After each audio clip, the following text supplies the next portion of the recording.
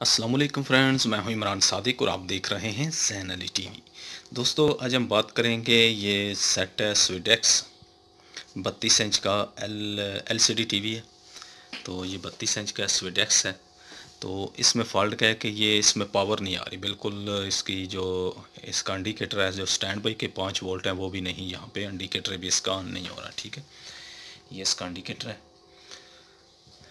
तो यानी कि बिल्कुल यूँ समझ लें कि ये डेड है। ठीक है?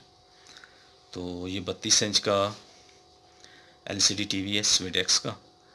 तो इस बिल्कुल डेड हालत में इसका इंडिकेटर भी ऑन नहीं हो रहा।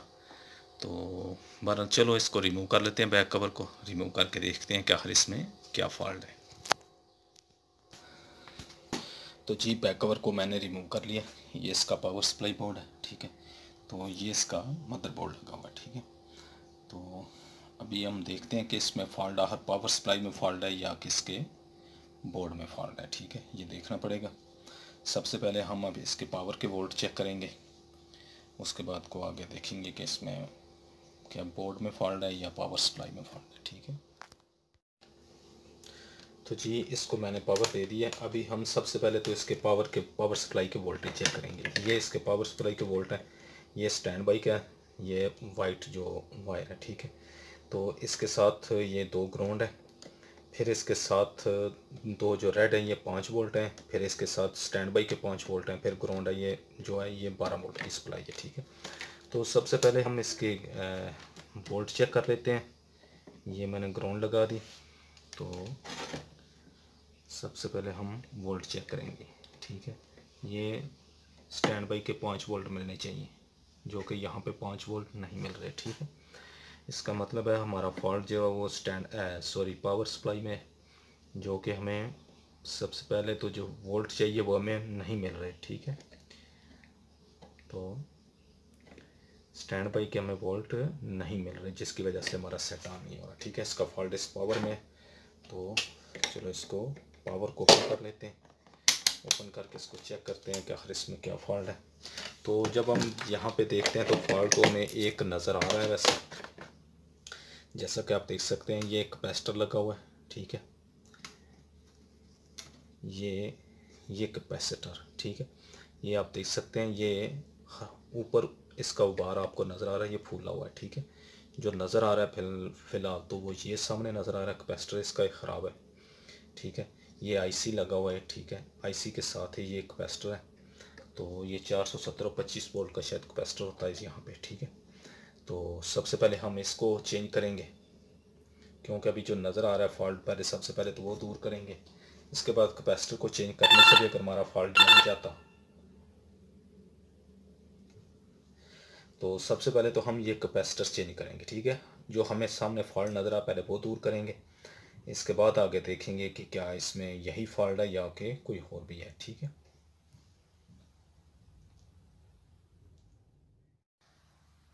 तो जी, ये मैंने रिमूव कर दिया इसको। तो आप देख सकते हैं, ये इसका बार आपको नज़र आ रहा है, ठीक है? ये ऊपर से फूला ये सॉरी चार सौ सत्तर ये सैंतालीस और पैंतीस वोल्ट का, ठीक है? पैंतीस वोल्ट का कैपेसिटर है, ठीक है?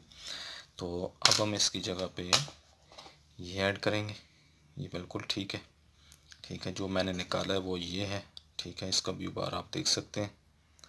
इसका बार आपको नज़र आ रहा है, ठीक है? ये ख़राब है। इसकी जगह पे हम ये ऐड करेंगे। तो अब हम ये लगा के चेक कर लेते हैं। तो जी कैपेसिटर तो मैंने ऐड कर दिया, लेकिन फिर भी हमारा सेट जो है वो ऑन नहीं हुआ, ठीक तो अभी हम चेक करते हैं इसकी पावर ठीक है? पावर को चेक कर लेते हैं। तो अभी पहले फ्यूज़ भी इसका जला हुआ था फ्यूज़ भी मैंने ऐड किया, ठीक है? फ्यूज़ भी अभी मैंने लगाया। इसके बाद, ये इसका रेगुलेटर है, ठीक है? ये इसकी रेजिस्टेंस है। तो ये ट्रांजिस्टर लगे हुए हैं। एक, दो, तीन, ठीक है? ये तीन ट्रांजिस्टर लगे हुए हैं। इसके साथ ये जो कैपेसिटर चेंज किया, ये आईसी है इसके साथ, ठीक है? सेवन पिन का आईसी होता है।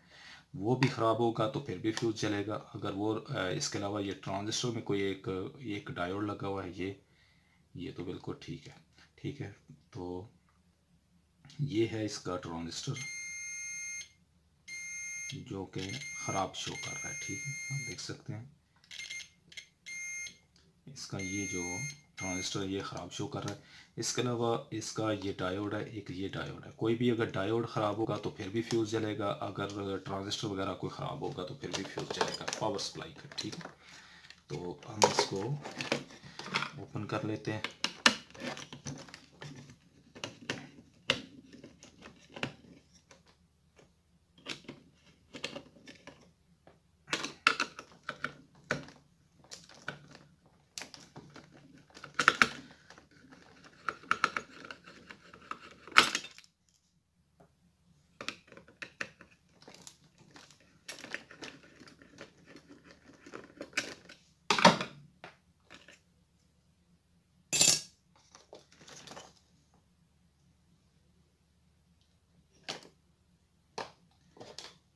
एक डायोड इसका ये लगा हुआ है। तो जो कि डायोड इसका, ये आप देख सकते हैं, नीचे इसका ये फटा हुआ है, ठीक है? ये ख़राब है इसका डायोड ये जो है, जिसकी वजह से हमारा फ्यूज़ जला है फ्यूज़ भी जला है, इसके साथ साथ ये ट्रांजिस्टर भी ख़राब हुआ है, ये डायोड ख़राब होने की वजह से, ठीक है? ये अभी शो नहीं कर रहा, बहरहाल इसका डायोड ये अभी ओपन कर लेते हैं, इसको रिमूव करते हैं, फिर चेक देखते हैं, क्योंकि सामने नज़र आ रहा है, ठीक है? आपको भी नज़र आ रहा होगा ब्लैक तो इसका ये डायोड भी चल गया। इसके साथ साथ ये एक ट्रांजिस्टर ट्रांजिस्टर को ओपन कर लेते हैं।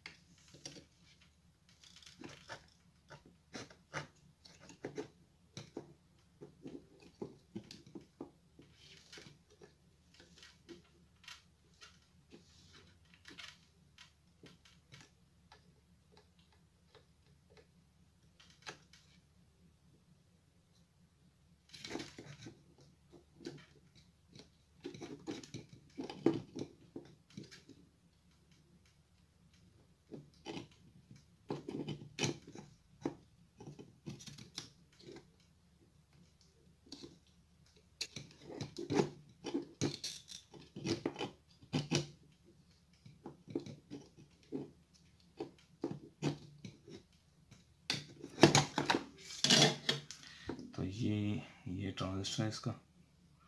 अभी नंबर वाज नज़र नहीं आ रहा मुझे।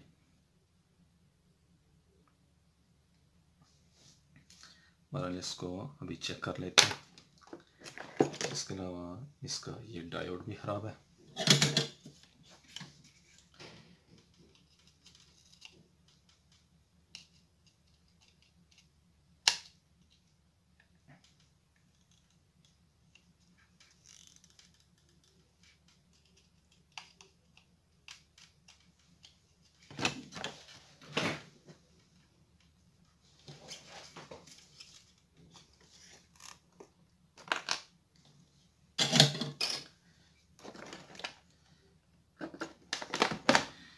जी, ये इसका डायोड ये जल चुका है, ठीक है। देख सकते हैं आपको इसको लाइन आपको इसका नज़र आ रही है। ये ख़राब हो गया इसका डायोड भी। और इसके अलावा इसका ये ट्रांजिस्टर ये दोबारा से चेक कर लेते ओपन किया।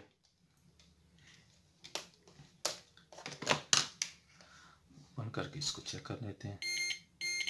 ये ख़राब हो चुका है, ठीक है। तो इसका एक तो इसके अलावा ये इसका डायोड भी है। ये तो सामने नज़र आ रहा है, ठीक है? ये इसमें लाइन नज़र आ रही है, ये ख़राब है। ये दोनों आप हम चेंज करेंगे, फिर हम इसको देखते हैं।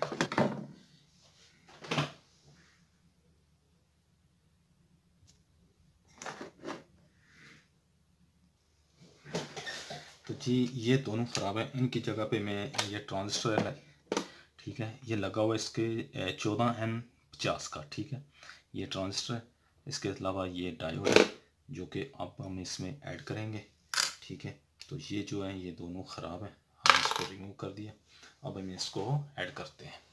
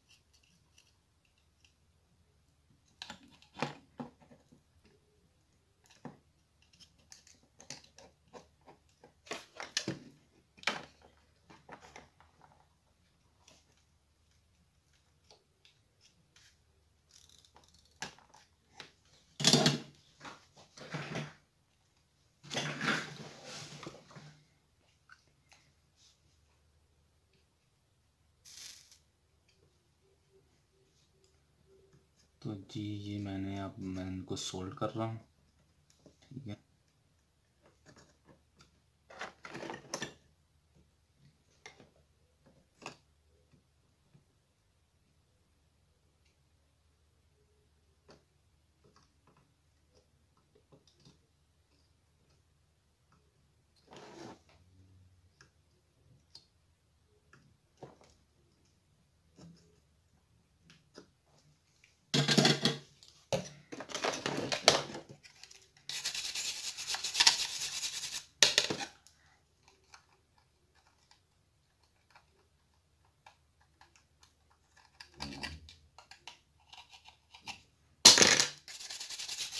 तो जी ये ट्रांजिस्टर भी मैंने लगा दिया इसके अलावा ये डायोड है ठीक है?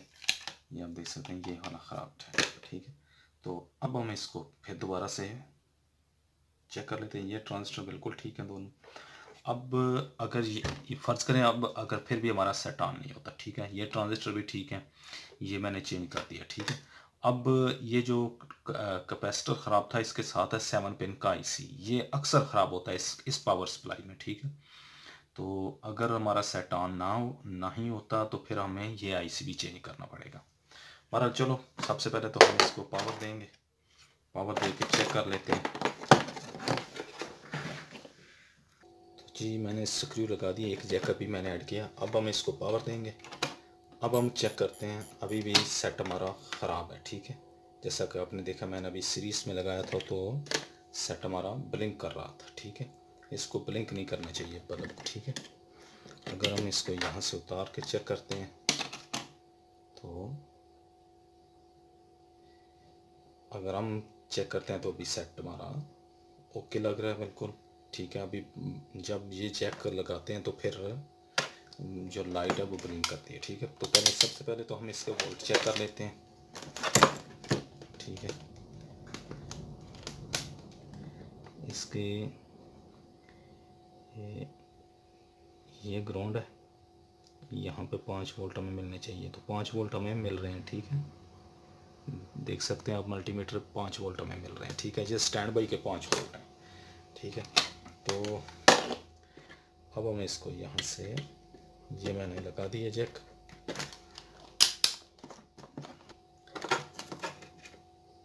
तो ये ये जैक है, ये इसका पैनल के लिए या बारह वोल्ट है?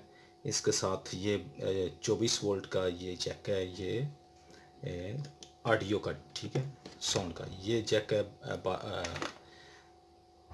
चौबीस वोल्ट ये बैक लाइट के लिए, ठीक है, ये बैक लाइट का जैक है। तो अब हम इसको दोबारा से पावर देते हैं। तो ये मैंने इसमें रिमूव किए हैं जो कि ख़राब थे। एक कैपेसिटर है, एक ट्रांजिस्टर है, चौदह एन फिफ्टी का। तो ये इसका एक डायोड है। तो ये मैंने इसमें रिमूव कर दिए अब हम इसको पावर देंगे दोबारा से। तो जी पावर दे दिए जैसा कि आप देख सकते हैं, इसकी ये रेड लाइट ऑन हो चुकी है। अभी मैं आपको यहाँ से इसको ऑन करने लगा हूँ। ये रेड लाइट ऑफ़ होगी। आप देखते हैं कि हमारा सेट ऑन हुआ कि नहीं, ठीक है? ये देख सकते हैं सेट हमारा इस वक्त ओके है स्विट एक्स ठीक है? हमारा सेट ऑन हो चुका है। इसमें फॉल्ट इसके पावर सप्लाई का था।